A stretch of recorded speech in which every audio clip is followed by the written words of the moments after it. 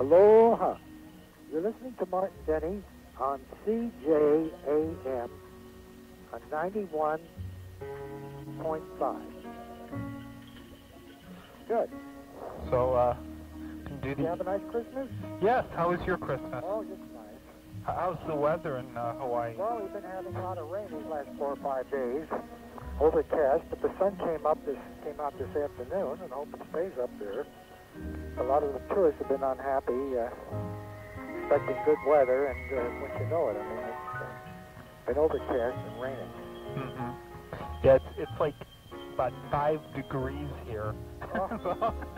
You know, I've been here. It's all over the country. It's uh, real weird. yeah, it's been really cold. Yeah. Uh, This is uh, David Warmbier from CJAM, and we're speaking to uh, Mr. Martin Denny. Hello. Aloha. This is Martin Denny speaking to you from his home in Honolulu, Hawaii. Uh, let me ask you, just just in regards to some background uh, information, um, what was your first album? What year did that come out? Our first album was called Exotica, and it was released in 1957, in May of 1957.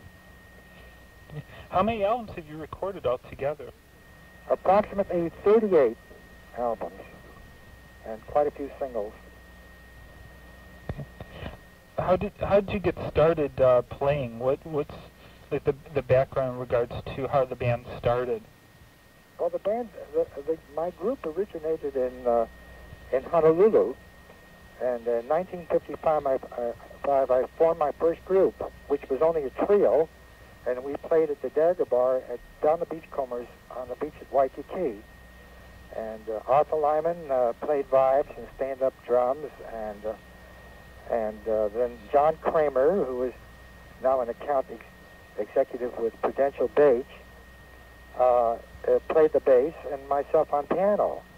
And before the year was over, we added Augie Colón. uh, He's the one that plays the bongos and congas and Latin effects and does the bird call.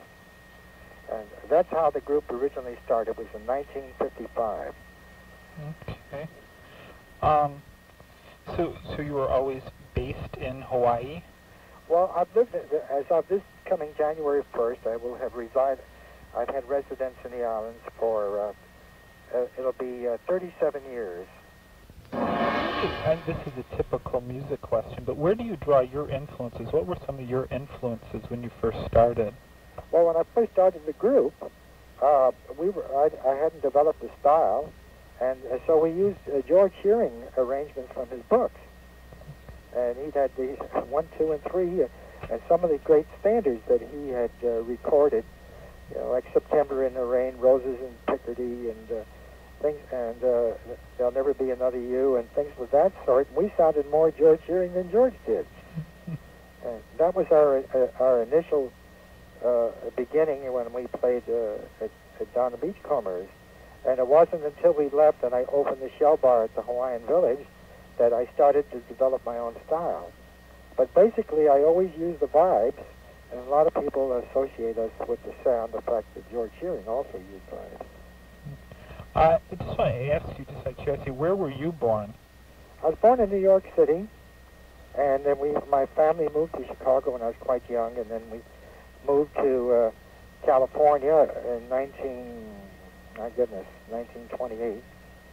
And I didn't come to the islands until 1954. How did you end up on the island? Well, I, I was uh, offered a contract by Don the Beachcomber uh, to come over and play the piano at his uh, burger bar. I had a six-month contract, and so uh, I had never been to Hawaii, and I I had done a lot of traveling prior to that, and I thought, well, this would be real neat. And so I went over there, and uh, I spent about seven months, and then went back home, and decided I had liked so much I came back again before the year was over, and uh, that was it.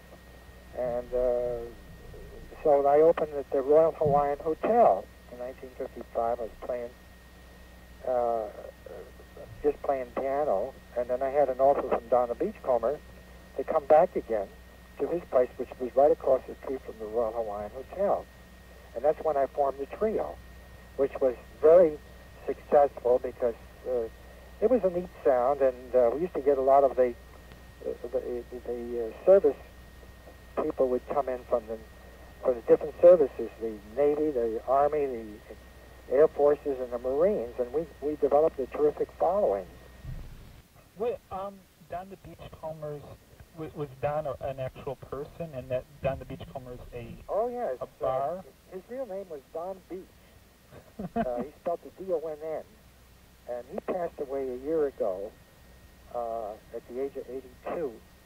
But uh, he was the originator of the original Don the Beachcombers, which was established and uh, that he first started in uh, on the mainland in California, in Hollywood, and then eventually they opened in Chicago and and uh, Palm Springs and Las Vegas, and, and of course his his watering place was was very famous, and everybody who's who and at one time uh, passed through those doors. and, and you played there for a period of time, and then you went Well, after I uh, I left in 1950, I was there in 1955. In 1956, I went over uh, and I opened the Shell Bar at the Henry J. Kaiser's Hawaiian Village, and I spent a year there till 1957, and that's when I made my first tour on the mainland.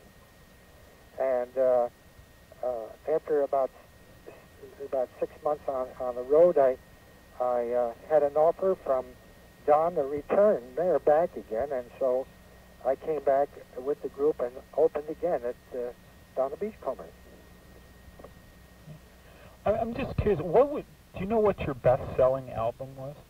Well, obviously, the uh, Exotica was number one on the charts for 13 successive weeks, and uh, I had as many as three albums going at a time at, when I was hot, which was about in 1958, 59, and 1960. And uh, my my albums were in great demand at that time. But my my single, which was taken from my first album, Exotica, was called Quiet Village, and that earned me a gold record. It sold over a million singles. In regards to the instrumentation that you use later on, I was I was just curious. What is a, uh, a marimbula? Marimbula? Marimbu- marimbula. Well, Exactly what use that that? as an effect. Actually, what it is, it's uh, it comes from the West Indies, and uh, what it is, it, it's it looks like a large overgrown uh, box, and it has uh, slits in it, and it has four four pieces of uh, uh, described in there like uh, steel plates, but very thin, and they're tuned just like a string bass and uh, you sit down on a box and then you and you pull it, pull at it with your fingers, and the thing snaps and produces a sound. And it so it's a very primitive type of thing, but was used extensively in in the West Indies. And certain effects that I wanted, I used that. You know. Um, what, other? I mean, you use some other kind of unique instruments. Um, notice on on the back of the best of album, um, Frank Kim, Frankie Kim. right? Is um, what instrument did he play? Well, he was the drummer, Okay. and Augie Colón. That's when I added. That was the fifth instrument that I added to the group. Okay. the, the drummer, and so basically my group was just five people. Yeah. Arthur Lyman played on on your first album. Did he? Yes, I know he recorded later on went on. And second LP. It was Exotica One and Exotica Two, Okay. and then he formed his own group, and uh, he split in 1959 and was replaced by Julius Wechter, uh, who later formed his own group called the Baja Marimba, and uh, did most of the recording with how, with Herb Alpert on the Tijuana Brass. Um, is Arthur Lyman still around? Yes, but he is he doesn't have a band any longer. He just plays vibes, and he's he works at a very exclusive club here called the Waialae Country Club, and uh, he works there five nights a week. And during the dinner hour, he plays vibes. He plays four mallets. Regards to the, the album covers um, of your albums, most of them have uh, very beautiful women on the album covers. Uh, wa- was there? I noticed that there was a couple that used the same model. Um, and most of them were designed by is it Pate and Francis, Pate Francis and Associates. Were they known? For, I mean, did they uh, do most of your album covers, and did they do anything else? I mean, were they known for anything well, else? Well, the uh, the model on uh, my first album and the first several albums was a was a very beautiful model named uh, Sandy Warner, and she uh, she modeled for approximately almost a dozen albums of mine. Okay. And uh, she was so photogenic that she uh, she you know she changed her, her color of her hair or wigs or whatever, and uh, she a high identity, uh, a complete different identity. And uh, a lot of people, you know, associated her with my albums. But I, I had nothing to do with it. She was selected by the art department, and I did get to meet her some years later. And uh, it's kind of ironic that part of her career uh, was based on the fact that she was featured on my album covers. Did she go on to do other things? Well, uh, ironically enough, she recorded an album once, and she asked me. They asked me to do the liner notes on it, and she sang. But I, I don't think anything really ever happened to it, and uh, I, I don't know whatever became of her. She got married, and uh, for all I know by now, she's probably a grandmother. Did, did you have any input on the album covers at all? No, nothing at all. It purely, it was uh, the, the, the amount, the uh, the design are preset by the company itself, which was Liberty Records, and uh, they they have depart. Uh, the artist has very little to do with uh, with unless uh, unless he produces the the recording himself, and then he can have some input. But when there is a different producer and everything, they uh, uh, they formulate their own plans. Did uh, Liberty or slash Sunset? Did they put out all your records or most? Of your, I know well, they put out most. all of them. And then later on, of course, years later, they were absorbed by Capitol Records, who own all my masters. Okay. Um, I know Cy Waronker produced. Cy Waronker at, at one time was the president of Liberty Records, and Al Bennett, uh, who passed away several years ago, uh, was the vice president, and eventually he became president. And uh, he made Liberty, he had a, uh, played a, a, very important part in the development uh, uh, because it turned out to be one of the top record companies in the country. And uh, I'm very grateful to him because he made it possible for me to arrive where I did by the popularity that I enjoyed, and he was largely responsible for it regards to the songs, do you have any any personal favorites? I know you've done so many, but uh, do you have any personal favorites, just out of curiosity, uh, that you've well, done? You know, I've written a number of things, you know, and uh, maybe I'm partial to the things I did. But uh, there were certain records, uh, certain albums that I did that some of the earlier ones uh, that uh, that shows the origin of, of my style as it started to develop and uh, I think one of my favorites is uh, uh, there's one called uh, Primitiva, and the uh, the other one was called Hypnotique. And uh, Hypnotique is the one that has the liner notes were written by by James A. Michener, the writer. Hmm. very very glowing uh, article that he wrote for me.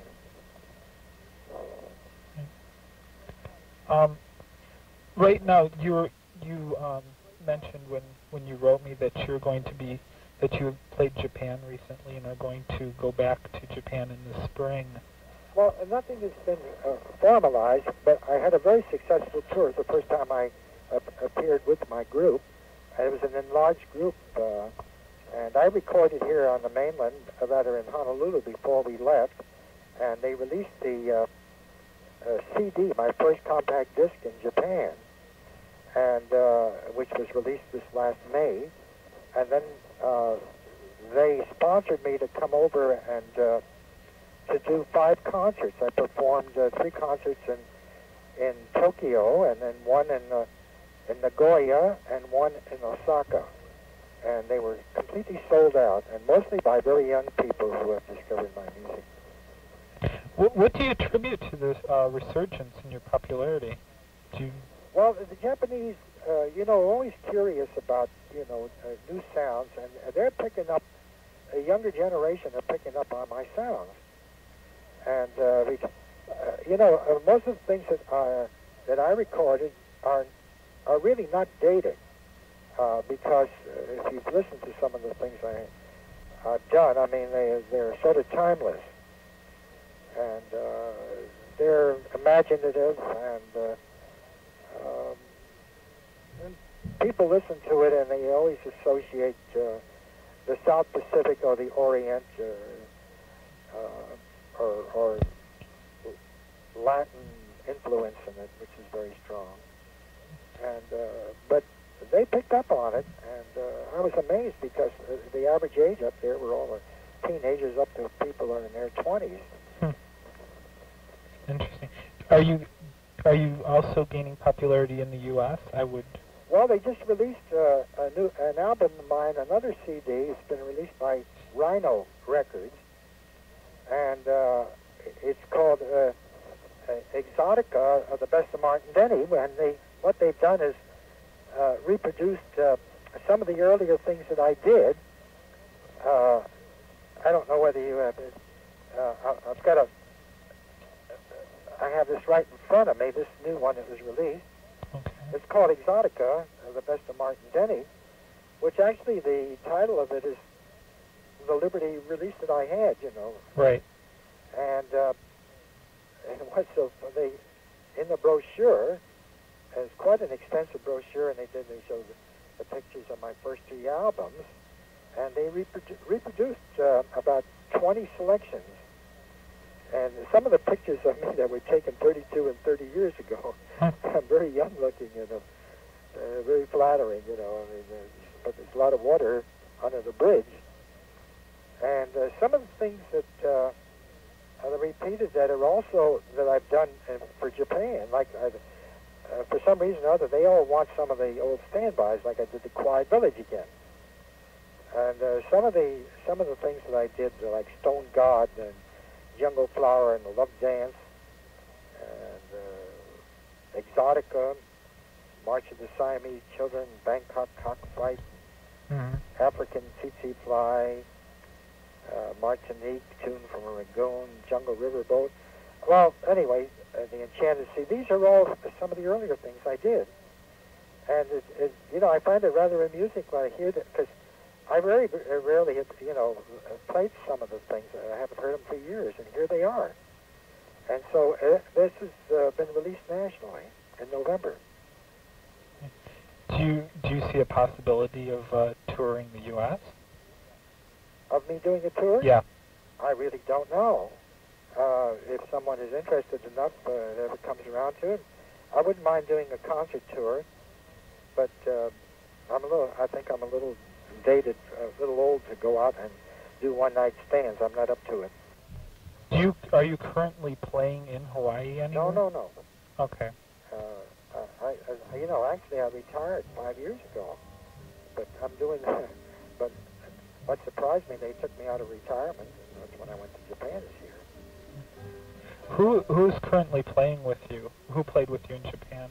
Oh, when I went, the, the group that I took. Yes. Well, when I recorded, I, I, I used some of the original members of my group and other members who had played with me uh, on and off. I used uh, uh, Arthur Lyman and, uh, and Julius Wechter, both of them. I brought Julius over from Los Angeles. Wow. And had Harold Chang on drums.